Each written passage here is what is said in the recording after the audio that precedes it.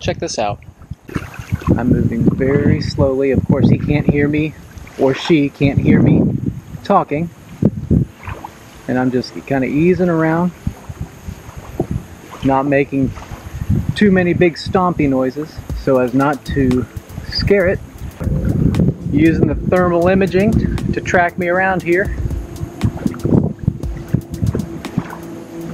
Like a good pit viper should.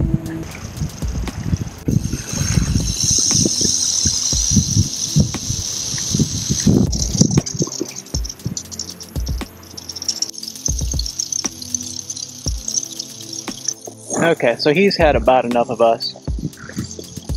Later on, Mr. Snake.